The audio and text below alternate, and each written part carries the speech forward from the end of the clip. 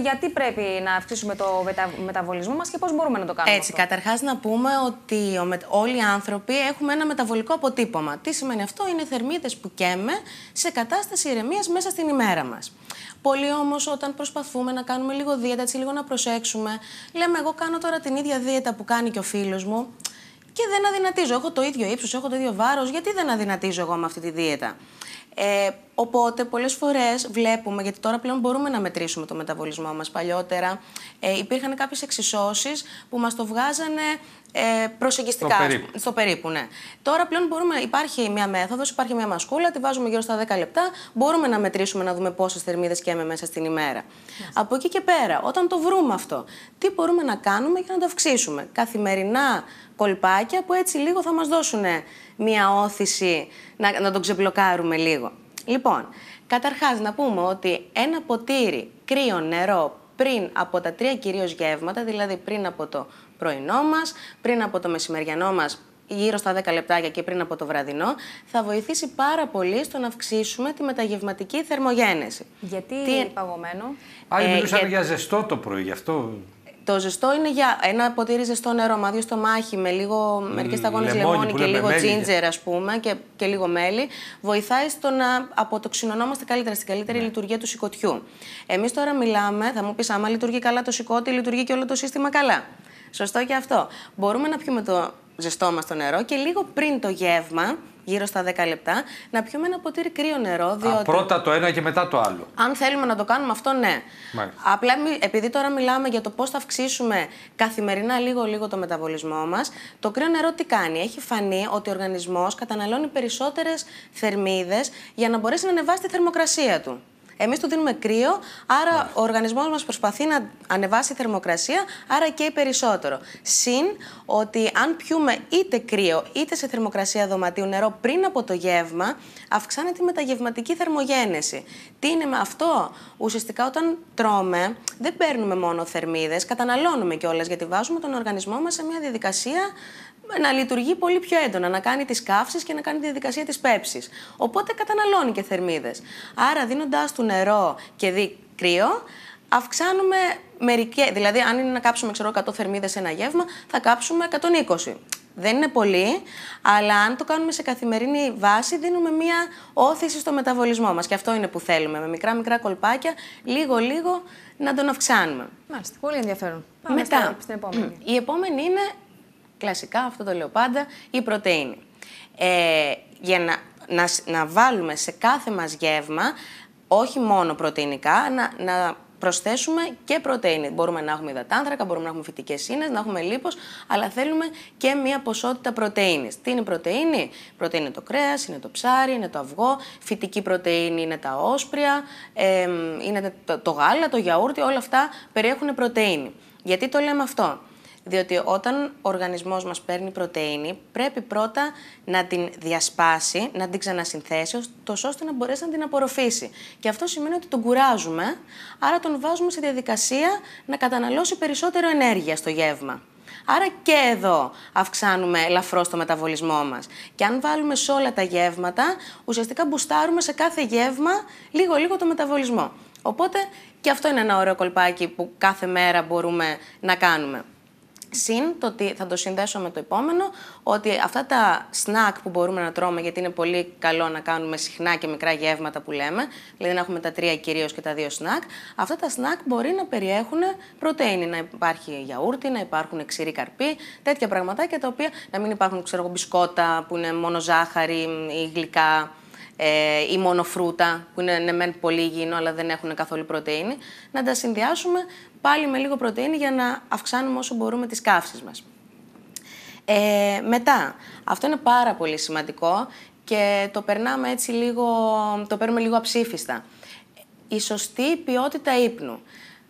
Πολύ σημαντικό. Ναι, πάρα γιατί- πολύ. Και όχι μόνο γιατί πόσες ώρες, αλλά και το πότε. Ακριβώς, ακριβώς είναι πάρα πολύ σημαντικό. Καταρχάς, έχει φανεί από έρευνες ότι μικρής διάρκειας ύπνος μπορεί να προκαλέσει παχυσαρκία, ακόμα και διαβήτη τύπου 2.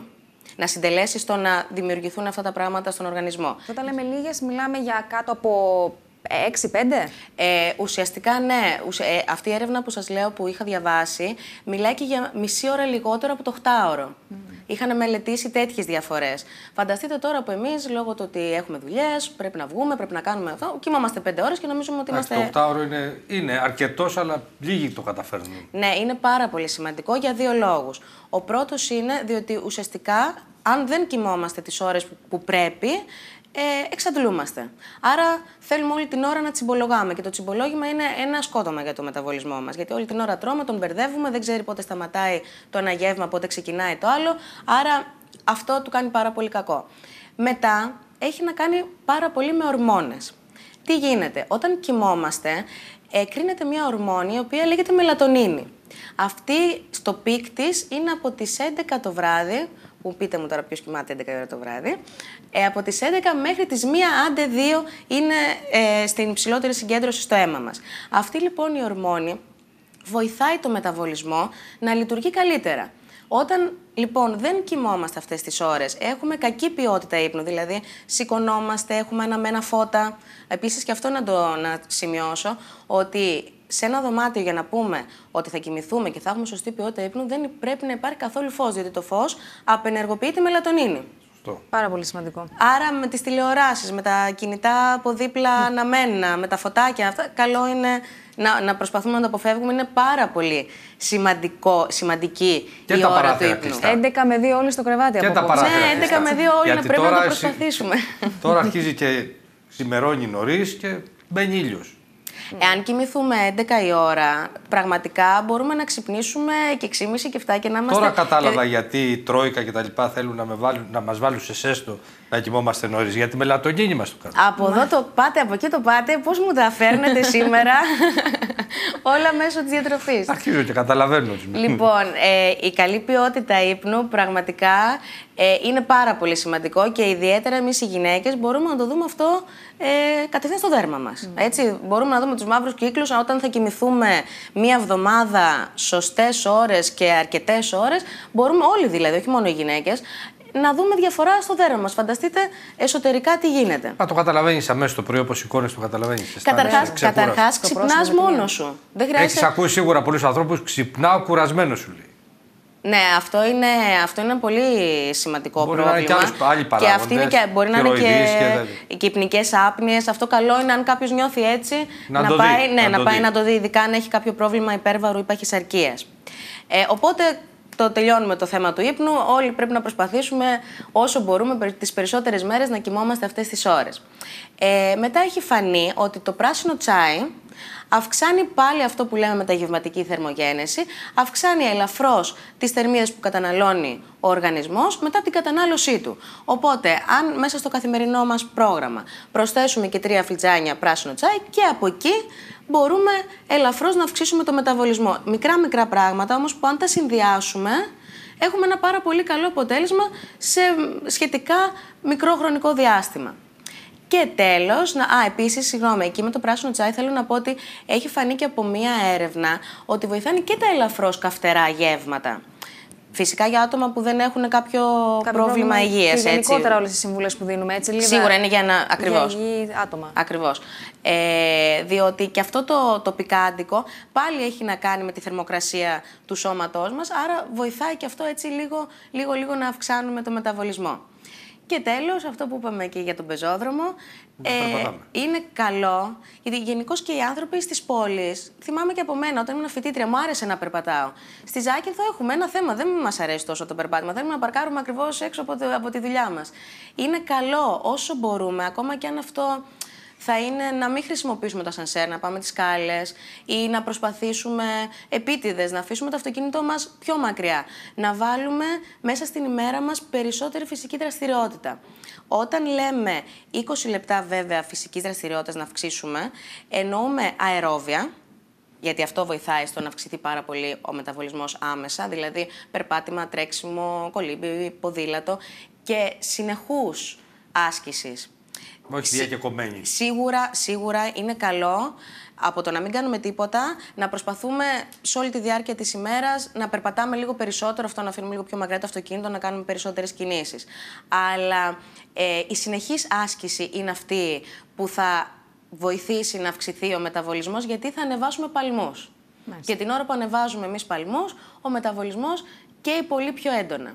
Άρα αν τα συνδυάσουμε όλα αυτά, στα πλαίσια ενός ισορροπημένου προγράμματος, δεν είναι ανάγκη να, είμαστε, να κάνουμε δίαιτες ή να ε, μην τρώμε τίποτα, να προσπαθούμε να δυνατήσουμε. Μέσα στο πρόγραμμά μας, αν κάνουμε δύο-τρία πραγματάκια, ε, θα δούμε αρκετή διαφορά. Και να δώσουμε και ένα μήνυμα ότι γενικότερα ε, δύο-τρει από αυτές τις συμβουλές, αν καταφέρουμε να τις στηρίσουμε στην καθημερινότητά μας, πρώτα απ' όλα και μπορούμε να το κάνουμε και, να, και μετά θα μας γίνει συνήθεια. Δηλαδή, Ακριβώς και νομίζω ότι λίγο είναι στην νοοτροπία εύκολα μας να μπει. πράγματα. Δεν είναι, εφόσον θέλουμε να έχουμε ένα αποτέλεσμα, δεν είναι τόσο δύσκολο να κάνεις τόσες μικρές αλλαγές.